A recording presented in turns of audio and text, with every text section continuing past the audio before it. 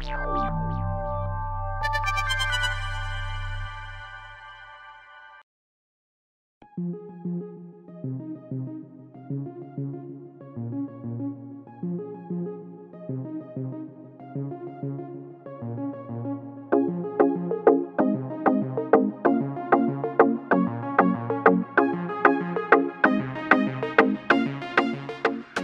have here the four artists whose works are on display outside, and each of them might want to say something or two about their work. My name is Errol Keane, and my works are the uh, braille pieces on the, I guess, left now uh, wall. Uh, the best way to describe the works are uh, they're about trying to include a part of society that's uh, greatly neglected, uh, which is the visually impaired and blind community.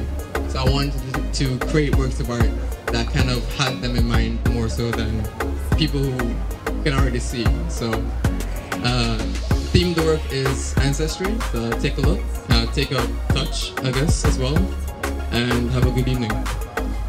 Hello, good night. I'm Gavin Wright, and my work are the large metal sharks outside and inside the building. My works are on marine pollution, um, impacting sharks specifically that are in our Jamaican waters that are affected by pollutants that are washed from on land and thrown directly into the water. And I've used those pollutants to recreate marine animals. Thank you.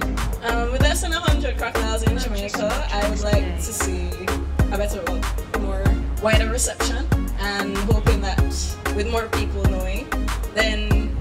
hopefully something can happen.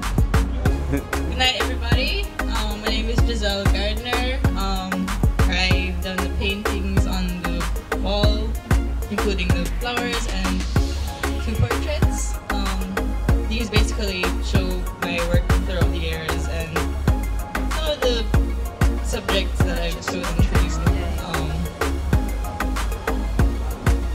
Um, mainly portraits. The name of Art on Walls came from Andrew who, as you all know, heads uh, Coldwell Banker. And he, um, he just wanted to do something where he could sell real estate, uh, but sell some art first, and so that you'd have to buy the real estate to find a place to put them.